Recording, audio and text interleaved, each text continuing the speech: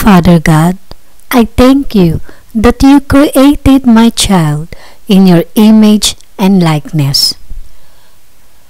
I thank you that you knit her together in my womb with love and care. I praise you because she is fearfully and wonderfully made.